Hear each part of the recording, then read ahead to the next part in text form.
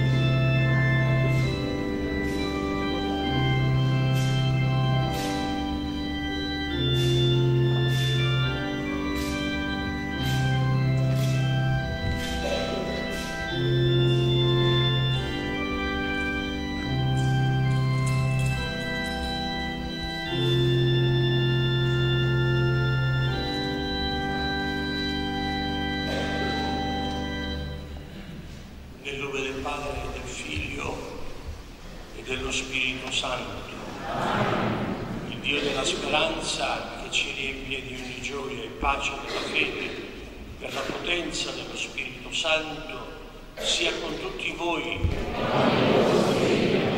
Se c'è altra gente fuori, venite anche qui davanti, eh? così potete ascoltare con calma tutti la Santa Messa.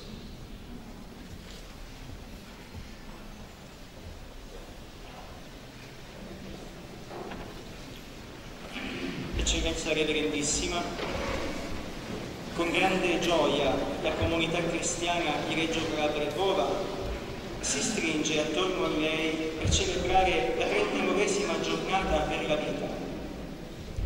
Quest'anno il Signore, nella sua provvidenza, ha voluto che fossimo nella zona pastorale di merito e precisamente nella chiesa di San Giuseppe per meditare sull'importante dovere di promuovere, accogliere e custodire la vita.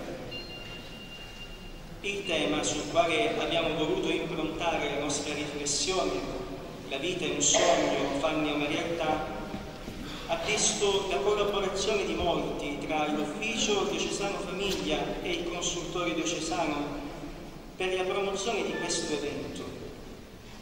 Per questo ci sentiamo grati verso quanti hanno voluto impreziosire questa nostra giornata. Un grazie va al vicario di zona e parroco di questa parrocchia, Don Domenico De Biasi, per la sua disponibilità e per aver accolto con giubilo questa opportunità di confronto e di preghiera, permettendoci di essere qui. A lui e ai confratelli di questa zona pastorale il mio saluto più affettuoso. Un grazie come ufficio famiglia vogliamo anche esprimerlo a quanti hanno dato nell'incontro pomeridiano la loro testimonianza di servizio. La Casa di Maria, Insieme Senza Barriere, Villa Falco, Casa Don Italo Calabrò, il Centro di Aiuto alla Vita e le altre testimonianze che si sono succedute. Un grazie alla Commissione dell'Ufficio Famiglie Diocesano alla nuova coppia di direttori Giancarlo e Maria Giovanna Benedetto e al nuovo segretario Don Fabrizio Naglia per aver accolto di portare avanti insieme con me un cammino in favore delle famiglie che davvero da tanti anni ormai, prima con il dottore Lucio Raffa, compianto, e poi con i coniugi Giumbo, si è consolidato in percorsi sempre più delicati e urgenti. Il Signore benedica i nostri sforzi sostenga i nostri passi e ricompensi tutti il bene fino ad oggi compiuto. Infine, proprio per sottolineare la felice intuizione, un grazie a lei, Eccellenza Reverendissima, per aver voluto unire alla giornata per la vita e il lettorato di cinque figli di questa comunità diocesana in cammino per il diaconato, che oggi riceveranno dalle mani di Vostra Eccellenza il Ministero di Lettori sia questo per noi un segno che si imprima nei nostri cuori, cioè che la vita è sempre vocazione e merita di essere spesa a vantaggio di tutti. Grazie.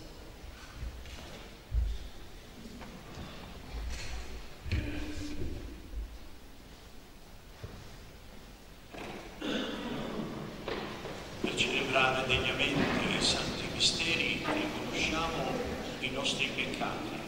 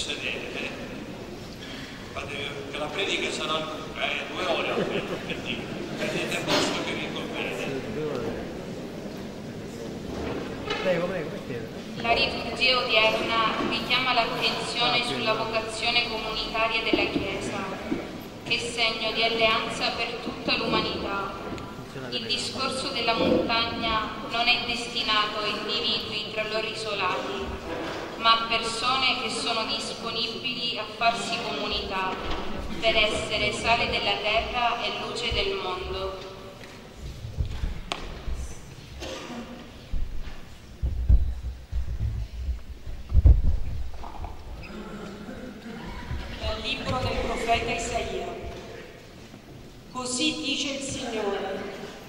Non consiste forse il digiuno che voglio nel dividere il pane con l'affamato, nell'introdurre in casa i miseri, senza tetto, nel vestire uno che vedi nudo, senza trascurare i tuoi parenti? Allora la tua luce sorgerà come l'aurora, la tua ferita si rimarginerà presto. Davanti a te camminerà la tua giustizia, la gloria del Signore ti seguirà. Allora invocherai e il Signore ti risponderà. Implorerai aiuto ed egli dirà, eccomi. Se toglierai di mezzo a te l'oppressione, il puntare il dito e il parlare empio, se aprirai il tuo cuore all'affamato, se sazierai l'afflitto di cuore, allora brillerà fra le tenebre la tua luce. La tua tenebra sarà come il meriggio. Parola di Dio. Dalla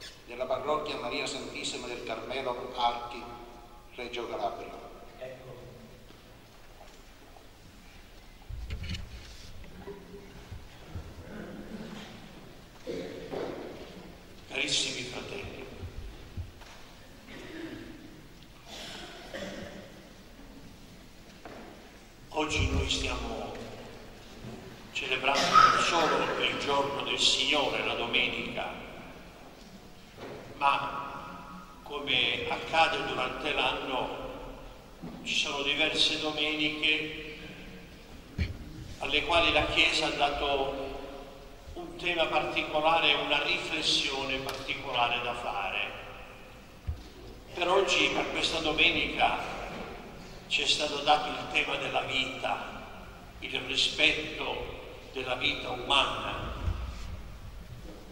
E poi noi, come diocesi, abbiamo voluto abbinare a questa celebrazione il conferimento dei ministeri, il ministero del lettorato, a, queste, a questi cinque nostri fratelli appartenenti alle diverse comunità della nostra diocesi. Ecco, abbiamo sentito questa parola di Dio, queste letture, che ci vengono consegnate oggi, perché noi possiamo riflettere su questi motivi, sui motivi di questa domenica, giorno del Signore, festa della vita, conferimento del lettorato, in forza del quale queste persone ricevono il mandato ufficiale di collaborare con il sacerdote per annunziare, con i sacerdoti e i diaconi per annunziare la parola di Dio. Voi dite, ma tanti di noi che non riceviamo questo ministero lo facciamo pure, certo, loro lo fanno però con un ministero particolare. Dio, la Chiesa li ha designati per questo motivo. E abbiamo ascoltato queste tre letture. Abbiamo sentito il profeta Isaia, la tua luce sorgerà come l'aurora. Poi abbiamo sentito Paolo, io sono venuto in mezzo a voi, parla ai Corinzi, la città piena di cultura, non venendo a parlare e allisciando e accarezzando quello che in città si dice. Io sono venuto a predicarvi Cristo crocifisso, che scandalo per i giudei e follia per i pagani. Che coraggio Paolo! Sapeva di non essere ascoltato, eppure è andato lì. E nonostante qualche reazione negativa, duro, io sono qui per predicare Cristo e Cristo crocifisso. E poi abbiamo sentito il Vangelo. Voi siete la luce del mondo, voi siete il sale del mondo. Chissà quante volte abbiamo sentito questo brano del Vangelo. Siete la luce e siete il sale. Quante volte vedo nelle processioni offertoriali che portano un piattino con il sale dentro, dice noi siamo il sale. Ma ci abbiamo riflettuto che cosa vuole dire essere luce ed essere sale. Ma abbiamo mai riflettuto come noi siamo luce e siamo sale? Se siamo luce vuol dire che c'è una realtà di oscurità. Se siamo sale vuol dire che ci sono cibi insipidi nei quali dobbiamo mettere il sale. Ma abbiamo mai cercato di uscire fuori dalla metafora e cercare di capire qual è l'oscurità oggi? Per cui io devo essere luce. E qual è, essere, qual è la realtà senza sapore per la quale io devo dare sale? E qual è questa luce e questo sale? Dove lo prendo io questa luce e questo sale per portarlo agli altri? Questa è la riflessione che dobbiamo fare noi oggi. Per la giornata della vita, per tornare a casa, giorno del Signore, arricchiti dalla parola, e per dire a questi nostri fratelli, voi oggi in maniera particolare, ancora di più che un semplice fedele, siete luce siete sale. Miei cari fratelli, io adesso vi rileggo la prima preghiera che ho recitato. E poi mi potrei sedere perché la predica potrei chiuderla lì. Abbiamo, io all'inizio della messa ho pregato così a nome vostro. O Dio, che nella follia della croce, Paolo, io sono venuto a voi a predicarvi Cristo crocifisso, scandalo e follia. O Dio che nella follia della croce manifesti quanto è distante la tua sapienza dalla logica del mondo. Semplice, c'è una logica del mondo, cioè cosa vuol dire logica del mondo? Il modo come il mondo affronta i problemi, il problema della vita, come lo affronta il mondo?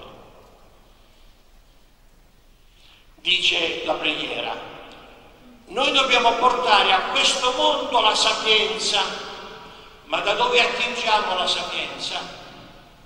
Dalla follia della croce, mamma mia, mamma mia. mamma mia, quanto è scomodo, e lo diremo subito, donaci il vero spirito del Vangelo, il vero spirito del Vangelo, non il Vangelo che io mi sono aggiustato per comodo mio. Io credo, ma credo a modo mio. Il vero spirito del Vangelo, che non cerca di mettere assieme il diavolo e l'acqua santa, vero spirito del Vangelo, perché diveniamo luce e sale della terra. Miei cari, mi potrei sedere. La predica è qui. Dobbiamo essere luce e sale. Perché? E perché la realtà che ci circonda non la pensa più alla maniera cristiana. Non la pensa più. Il problema della vita, ma secondo voi è affrontato alla maniera cristiana oggi? Oggi si vanno a denunciare persone per maltrattamenti ai cani. Cercate di capirmi, però sto qui a denunciare chi maltratta i cani.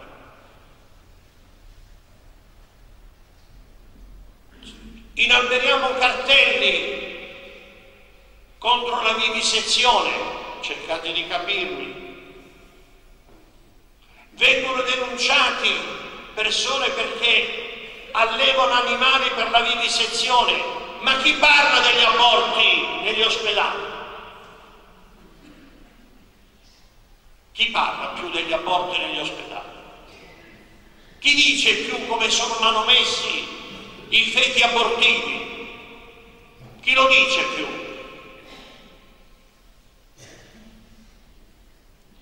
Chi ha il coraggio di togliere il velo su quel che sta accadendo attorno a noi con questa immigrazione? Qualcuno finalmente ha parlato e ha messo in conto l'aumento della immigrazione, soprattutto minorile, e il terribile aumento dei trapianti d'organo. Non credo di, di dire io una verità che tutti possiamo leggere, che c'è la tratta dei bambini per i trapianti d'organo. Chi ne parla? Nessuno. Fa più notizia la pedofilia dei preti. Quando succede, tagli, tagli, che è il momento buono. Ma chi parla di questa violenza? È una conquista di civiltà morire, lasciarsi morire, chiedere di morire, chiedere di essere uccisi, la presentano come conquista della civiltà.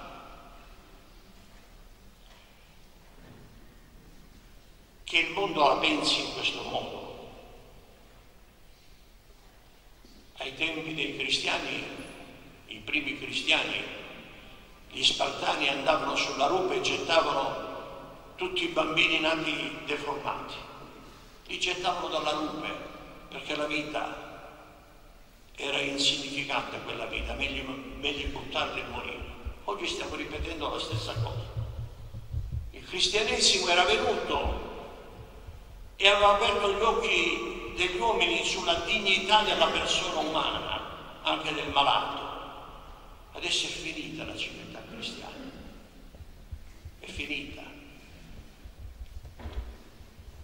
Ieri ero nella biblioteca della nostra diocesi, stavo mettendo a posto i libri, stiamo trasferendo alla biblioteca e se avevo un pomeriggio libero sono andato con le suore dell'Episcopio e con Don Francesco a sistemare i libri, c'erano libri di filosofia e ho trovato un fascicoletto di un grande pensatore, Montadini, anni 60, la fine della civiltà cristiana. Scriveva già negli anni 60 che la civiltà cristiana è finita. Cioè, già allora avevano intuito questi grandi menti che la società aveva preso una piega che lentamente non l'avrebbe consentito più di identificarsi con il Vangelo. Che lo faccia la società che vogliamo, la società è libera di fare quello che vuole. Ma noi cristiani, luce e sale, siamo luce e sale oppure ci mimetizziamo nell'oscurità e strizziamo l'occhio anche noi all'aborto. Quando ci capita e siamo chiamati in prima persona e sto figlio mo deve nascere. O Signore ti capisci, ti perdono, toglitelo, soffri tu, soffre lui, o Signore poi ti perdona. E non cari, e non cari.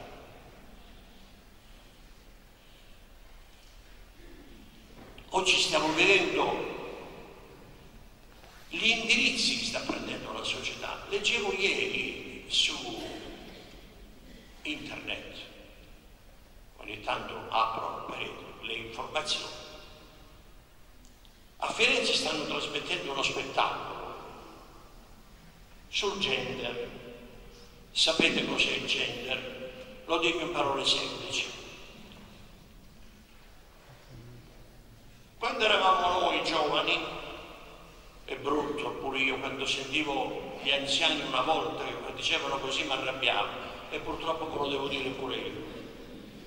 Quando ero giovane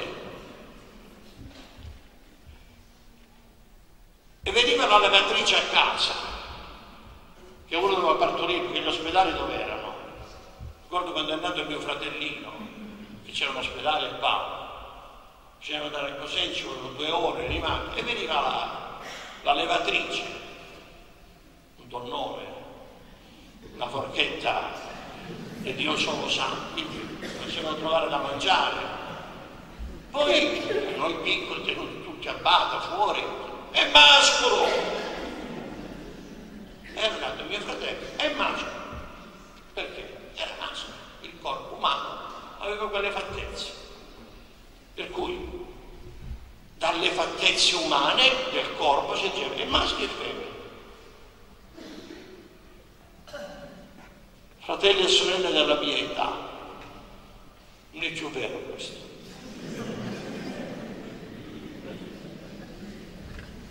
né chiudere. Questo spettacolo che stanno facendo a Firenze ruota attorno ad un ragazzo che oggi dice che è femmina e domani dice che è maschio. E tutte le scuole stanno andando. Perché? E dobbiamo educare questi ragazzi contro la violenza del genere. Perché?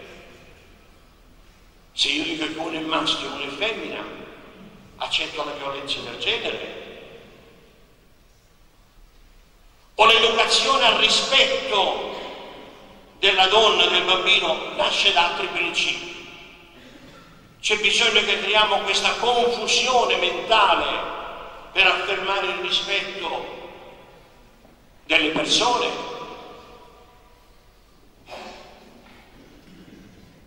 tra qualche mese. L'avremo a Reggio sicuramente perché ci sono gli avanguardisti che devono essere alla page, dicono i francesi. Devono conformarsi alla possibile. A Firenze tutte le scuole vanno a vedere, noi a Reggio siamo handicappati, non dobbiamo vederlo. Poi verrà settembre andiamo anche a presa la Madonna, come se ci fossero due strade, una che riguarda la concezione della vita e una che riguarda la concezione della Madonna. Si- essere sale e luce del mondo significa che io affermo i principi cristiani, ma non mi crede nessuno che ha detto Paolo, io vengo a predicare Cristo crocifisso, la follia della croce e la sapienza. E dobbiamo avere il coraggio. Questo è il cristiano. Dobbiamo avere il coraggio, il coraggio di dire io la penso così, non condivido. Questo significa essere luce e sale, perché se ci mimetizziamo, se abbiamo paura, voi genitori, quando accadrà, voi vi darete conto di questo, che avevo ragione, che vi porteranno questi spettacoli, mi raccomando mettete la firma e mandate i vostri figli, perché? E se no che dite? Voi siete arretrati rispetto agli altri genitori che ce li mandano. Questa è una vergognosa presa di posizione, è una vergognosa mimetizzazione che distrugge la nostra identità cristiana. L'identità cristiana non ce la danno i riti e le processioni, ricordatevelo. Lo stiamo predicando da tempo. L'identità cristiana ce la danno i valori nei quali noi crediamo. Chi è cristiano? È colui il quale non getta i figli dalla buca, così dicevano allora. Chi è il cristiano a Roma ai primi tempi? Coloro i quali non bruciano incenso davanti alle statue dell'imperatore. Il coraggio, che poi alcune volte pagavano col martirio. Questi erano i cristiani. Noi ci mimetizziamo e abbiamo paura di apparire perché? E poi che dicono? Voi siete il sale e la luce. Questa è la giornata della vita. Che naturalmente noi questa vita la dobbiamo non solo difendere all'inizio e alla fine, la vita va accompagnata. Anche quella è difesa della vita. Allora dico a voi genitori, Qual è il vostro interesse educativo nei confronti dei vostri figli? Vi preoccupate della loro formazione? Avete il coraggio di perdere tempo con loro o chiudete gli occhi? Soprattutto riguardano un problema fondamentale, l'educazione sessuale.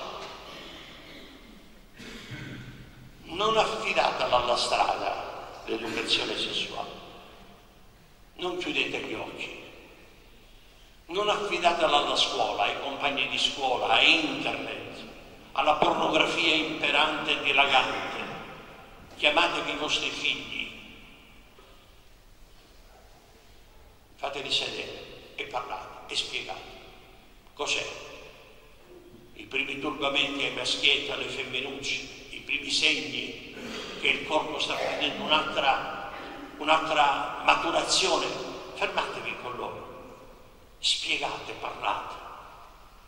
E insegnate loro che la sessualità è un dono di amore, non è divertimento.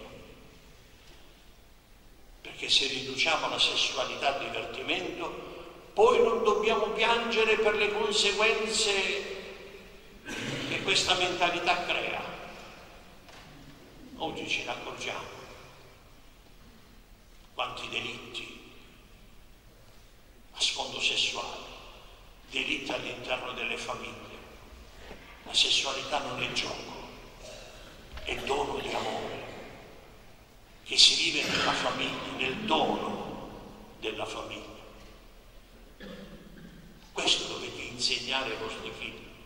E allora sì che celebriamo la giornata della vita.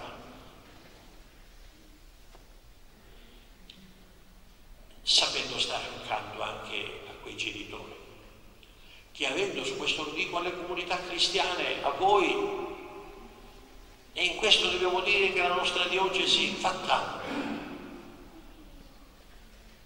quelle famiglie che, che hanno avuto il coraggio di accettare, accettare l'handicap, accettare la vita toccata dalla sofferenza.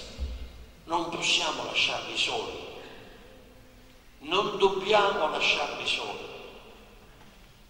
Le caritas parrocchiali, non pensate solo a distribuire pasta. Le caritas parrocchiali dovete alzare le antenne sul territorio e chiedervi dove ci sono problemi di questo genere. E noi come comunità che cosa facciamo per alleggerire il peso di una mamma, di un papà,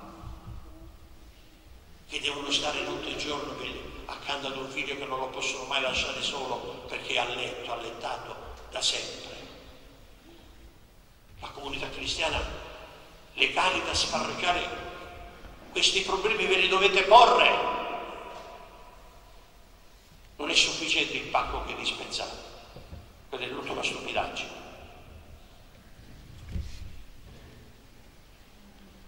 È l'impegno che dobbiamo mettere tutti. Voi accettate la parola di Dio. Fratelli miei, diventate lettori. A far che cosa? Per leggere, c'è bisogno. Siete, prendete questo compito perché dovete annunciare questa verità. Scomoda, scomoda. Questa verità che a quella volta quando la, la annuncerete la gente vi riderà in faccia, vi ricorderete di Paolo.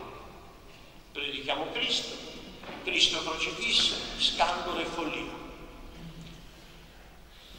Ci dia il Signore la forza e il coraggio, perché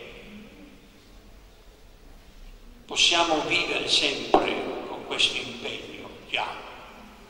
Siamo il volto di Dio in mezzo alla nostra comunità cristiana e lo dobbiamo essere con forza, con coraggio e con impegno. Amen.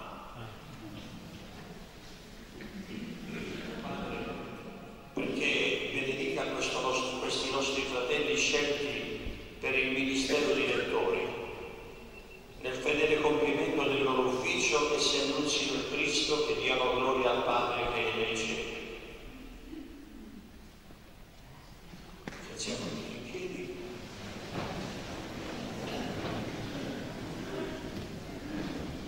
Oh Dio, fonte di bontà e di luce, che hai mandato il tuo figlio parole di vita per rivelare agli uomini il mistero del tuo amore, benedici questi tuoi figli eletti al ministero di lettori. Fa che nella meditazione assidua della tua parola ne siano intimamente illuminati per diventarne fedeli annunciatori ai loro fratelli per Cristo nostro Signore.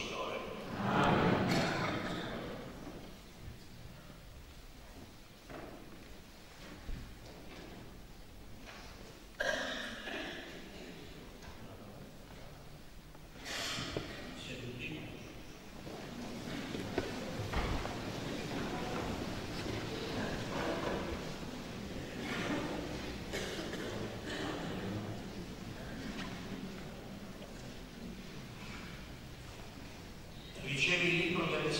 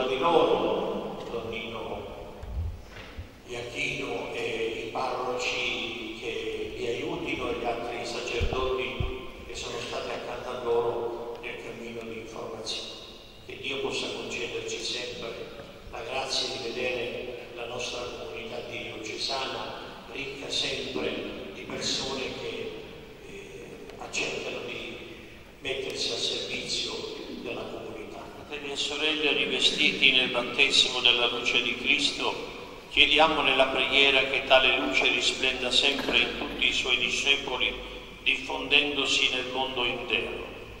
Preghiamo insieme diciamo risplendi sul mondo, Signore. Per il Papa Francesco, il Vescovo Giuseppe e tutti i pastori delle chiese che con la parola e l'azione quotidiana accompagnano il loro popolo a vivere l'amore verso i poveri. Preghiamo. Per questi fratelli che questa sera hanno ricevuto il ministero del lettorato, perché siano annunciatori gioiosi e stancabili di Gesù Cristo, preghiamo. Per i volontari che nelle Caritas e in altre organizzazioni umanitarie con la quotidiana dedizione ai bisogni fanno risplendere nelle periferie la luce di Dio, preghiamo. Per quanti non chiudono il cuore alle sofferenze del povero, dell'immigrato, del senza fissa dimora e ne promuovono la dignità e la vita, preghiamo. Per i fratelli e le sorelle che in mezzo alle diffidenze della cultura odierna perseverano nell'accogliere la vita e nel promuovere la dignità nel suo germogliare e nel suo spegnersi, insieme preghiamo. Ascolta Padre questa supplica e manda lo Spirito Santo a renderci sempre lampada della quale si effonde radiosa la luce del Figlio tuo, per Cristo nostro Signore. E di un solo calice, fa che uniti a Cristo in un solo corpo portiamo con gioia frutti di vita eterna per la salvezza del mondo, per Cristo nostro Signore. Prima di darvi la benedizione, il ringraziamento all'ufficio famiglia per eh, aver organizzato anche quest'anno questo momento di preghiera e di riflessione, un ringraziamento ai parroci di merito, al parroco che ci ospita, a tutti i sacerdoti della vicaria che avete contribuito per la buona realizzazione di questa giornata. È chiaro che il messaggio il Vescovo è riuscito a portarlo a voi, siete voi che adesso dovete portarlo nelle vostre famiglie, negli ambienti in cui vivete. L'anno scorso vi ricordate quando abbiamo parlato della trasmissione della fede, io ho insistito su un fatto, potete fare più voi che non il Vescovo. Perché quando state aspettando una visita medica o state al mercato, passeggiate e si apre il discorso, quelli sono i momenti forti in cui potete trasmettere la verità del Vangelo. Se una famiglia, in una famiglia non si va d'accordo, quella buona parola di riconciliazione. Se sapete che ci odio ci sono inimicizie, quell'invito, ah perdono, passaci sopra, non ci pensate. Quella è la migliore evangelizzazione che possiamo fare. Così quando si toccano certi problemi, la vita, difendela, abbi fiducia nel Signore, non ti preoccupare, il Signore non ti farà mancare il necessario, quella è la migliore evangelizzazione. Un vescovo può dire tutti i discorsi teologici, filosofici, ma ricordate che la parola tante volte più persuasiva ce l'avete voi, ce l'avete voi. Non tiratevi indietro da questo impegno di portare avanti il Vangelo in questo modo. Sui buoni propositi di tutti noi adesso do, chiedo, invoco la benedizione di Dio. Il Signore sia con voi. Sia benedetto il nome del Signore. Il nostro aiuto è nel nome del Signore. Vi benedica Dio Onnipotente, Padre e Figlio e Spirito Santo. Glorificate il Signore con la vostra vita e andate in pace. Rendiamo grazie a Dio. Buonasera a tutti e buon ritorno a casa.